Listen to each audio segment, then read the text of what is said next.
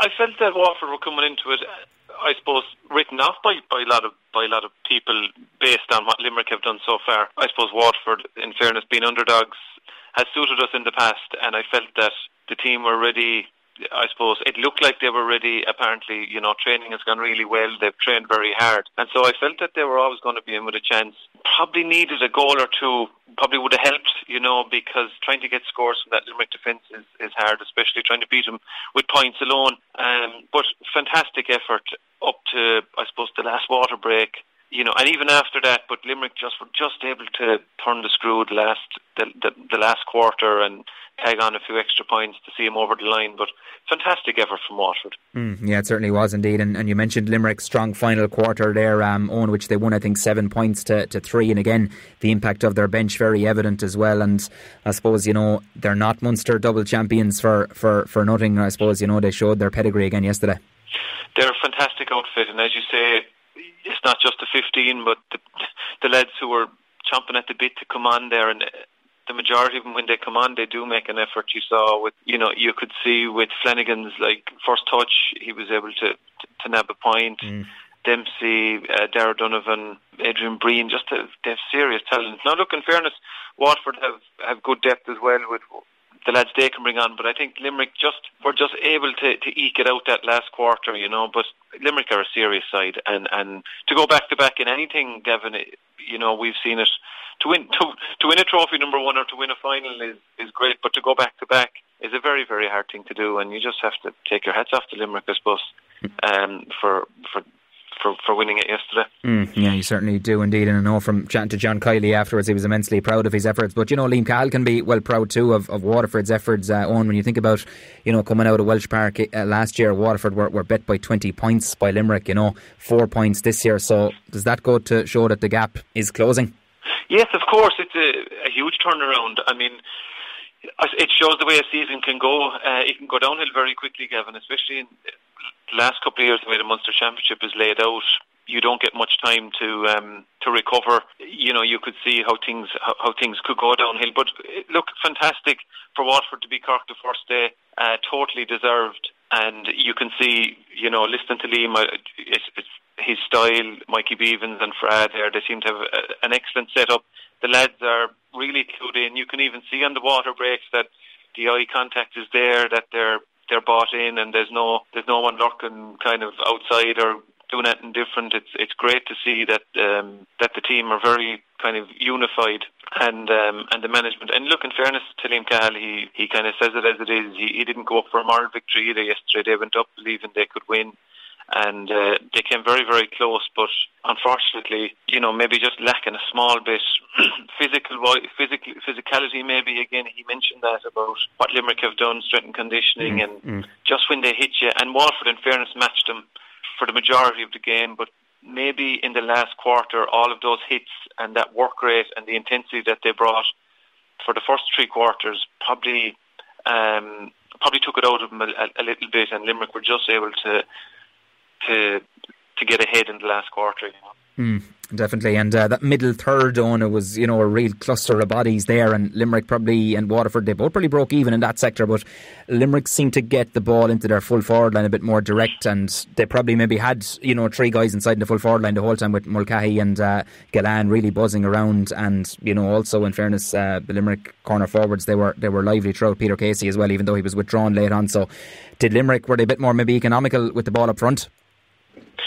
They're just so good at that, Gavin. They've been they've been trying to do trying to play that system with a with a long time, and they seem to be the ones that have really that have really mastered it as regards what their half forwards. Um, the way they come deep, they're able to go up and down there on on both wings, and then you you have, as you say, you have three inside, but mainly probably two because Peter Casey or Mulcahy can can work back, and we've seen them hooking and blocking out in the mid out in midfield and this and that. Gillane is always inside, um, plus one maybe, whichever that is. Uh, but and and what a, what they're so good at is just a little pop pass, and it could be left or right, it could be backwards, it could be sideways, it could be high, it could be low. But their hurling, you have to admire as well, not just their physicality and, and the way that they can play, but their hurling is so sharp at the moment. There's very little fumbling of ball. They trust what they do they trust a three yard pass, they trust a 30 yard pass. And if it does break down, and not many break down to be fair, um, Waterford did, did, in fairness, take them on and, and won, won a lot of frees yesterday, which I'm sure John Kiely will be worried about.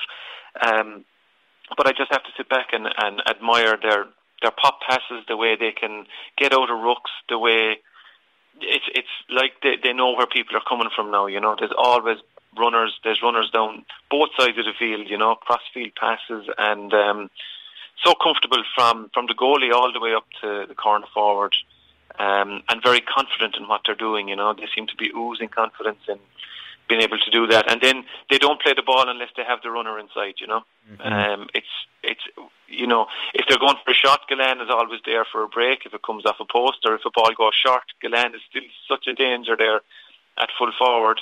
And um, the only time that he'll run is when a person outside has that moment to pick him out. You know, so mm-hmm. it's a very very it's it's a really tough system to break down, to be honest. Yeah, it certainly is. And uh, from being up there as well, watching uh, yesterday, uh, when I was watching Gillane and, and Conor Prunty there, they had a right duel there on the edge of the square, didn't they? Prunty, uh, Conor has had a you know has turned into a brilliant player very quickly. You know, coming on coming into full back last year, not an easy position to fill, but he has excelled there. In fairness, and you come up against so many different players at full forward, um, big, small, fast um, good in the air, good on the ground. Um, and Conor has dealt uh, admirably admirably with with anything that has come against him, and and he won't get much tougher than than Gillane, you know. And they had a great battle, and um, Conor can uh, Conor did a, a great job. I mean, Gillane is always going to pick off a couple of scores, especially with the quality of ball that that he gets from out the field. But um, Conor is just a, a, a, brilliant addition to the team at fullback. Mm, yeah, he certainly is indeed. And you know, as I say, it was tight and tense uh, on all through, and that game was really in the mental, melting pot. Even excuse me, heading into the final quarter, it was eighteen all at the second water break. Stephen Bennett got a great score there to put Waterford in front, and Gearóid Hegarty responded. But um, did the water break maybe come at the, the wrong time for, for Waterford? Maybe in both halves, you could argue. You know. Yeah, yeah, yeah, I think they showed it last night that after both water breaks, Limerick were able to kind of reset and and able to pick off three or four scores before you know three or four scores to one maybe um, and that's what happened on the second water break unfortunately. You mentioned Stephen Bennett he had a fantastic um, fantastic day yesterday. He, he was really excellent and um, shown exact shown his potential there. He's a, he's a, he's a brilliant player and a very important player for us but the water break, you're right, it did come at kind of the wrong time. It allows Limerick to reset and and to get a kind of um, a couple of words in from the management, from Kinnerk and from Kiely, to get them to rethink what they're doing maybe a little bit and to push on again. And um, Waterford had, had done brilliantly to get back to 18, 18 apiece. And, and you could see, you could hear I suppose one thing now with the crowd, you can hear the, how vocal the Waterford bench were, how vocal the management were, and they really felt like you know this is there for us now, and and it was. To be fair, it was, but I think they'd expended so much energy, Gavin, to get to that stage that um, the tanks were probably getting running into a little, uh, you know, running into the red a little bit maybe for some players, and maybe the bench could have been sprung a little bit earlier. You know, you could see Limerick sprung um, two lads just after the 50th minute and um, they have the bench, of course, that they can do that, but maybe something that the management might look at, especially heading in now to a third week for Waterford. Mm, yeah, six day turnaround. We'll touch on the, the quarter final draw in a minute, but you mentioned Stephen Bennett there. Um, Eoin, you know, brilliant to see him back to his brilliant best. And even even he showed, you know, glimpses of pace there to get away from the Limerick defence there at one stage, showed him a clean pair of heels and off the hurley, you know what I mean? He has that talent, so he was brilliant out the field. Uh, people making the point afterwards that maybe Waterford needed, you know, more threat in the inside line. So would you, do you kind of play him closer to the goal. But then again, if a guy is, you know, hurling with confidence out the field as well, you know, do you leave him there? It's a, it's a tough one, really, isn't it? It is a tough one, yeah. It is a tough one. You could do with cloning him maybe and having one each line, but yeah, yeah. like you mentioned, his speed. I I remember when I was with Waterford for a couple of years, and and he runs and he any 30, 40, 50 yard runs, Stephen Bennett uh, was the man to catch. So, like, it's no, um, I'm not surprised that he leaves people um, in his wake because when he, he has that I won't even say fifth gear. He has a sixth gear that other people don't have. When he gets going, he's impossible to he's impossible to catch. You know, and it's it's great to see him. He's been through an awful lot as a player with injuries and coming back, and it's you know he's so important to this Waterford team, not just from free taking, but his ability to pick a score, his ability to take on defences, and he's he's strong as well. Like you know, mm. so he is he has it everywhere. But no, there was some great. Listen, McNulty back cornerback had a brilliant day. The half back line was very solid up up against the serious uh, Limerick half forward line. It was, everywhere you look, Limerick have it. You know, midfield was, I mean, was all, always going to be tough up against um, Donoghue and, and Lynch. Donoghue was having a brilliant year. It was always going to be hard, but I thought midfield did did well, and um, and we had our moments up front, definitely. Yeah, as you say, the inside line. I mean, that Limerick full back line, Sean Finn, and it was there wasn't many goal chances, but actually in the last ten minutes, Waterford mm. probably created one or two, you know, and and Sean Finn intercepted a pass. If it was a little bit higher, it would have, it would have gone in, and possibility of a goal, and we were, it was all back on again then, you know. But um, it's yeah, it's so hard to get that quality ball into your inside line you know, with the way with the way Limerick play and, and with the intensity out the field. But look, it's another, you know, Waterford, as I say, will take huge confidence again from that. I mean, people, I think we're expecting maybe, you know, seven, eight, ten point defeat maybe, and, mm. and plus, plus, plus definitely didn't materialise. And, and, you know, I think Waterford supporters today and, and everyone involved can feel very proud of uh, the performance yesterday. No, you know, moral victories, as we say, we're not, we're not out for those anymore in Waterford.